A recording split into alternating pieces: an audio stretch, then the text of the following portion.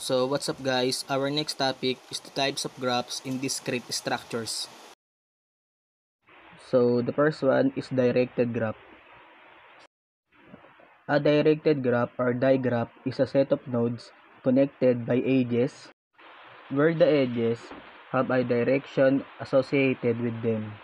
For example, an arc x and y is considered to be directed from x to y and the arc yx is the inverted link. y is a directed successor of x and x is a directed predecessor of y. So this is directed graph. So the next topic is undirected graph. Undirected graph is graph i.e. in a set of objects called vertices or nodes that are connected together where all the edges are bidirectional.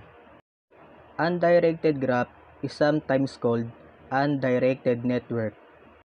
In contrast, a graph where the edges point in the direction is called directed graph.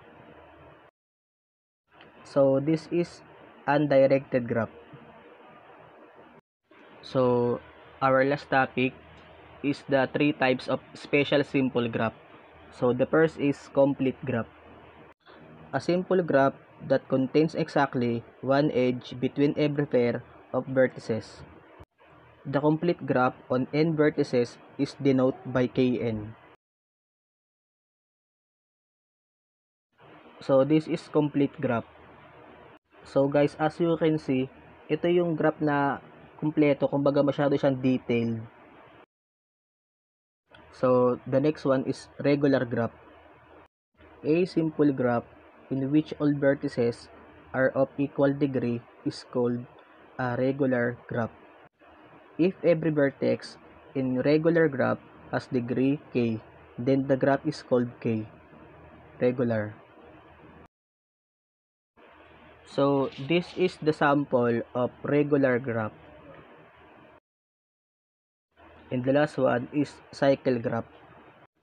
The graph consists of n greater than equals 3 vertices 1, 2, and 3. Vn and edges E1 and E2. En, the cycle of n vertices denote by Cn.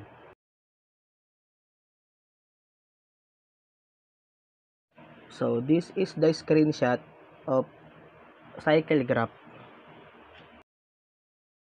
So that's all guys. Thanks for watching.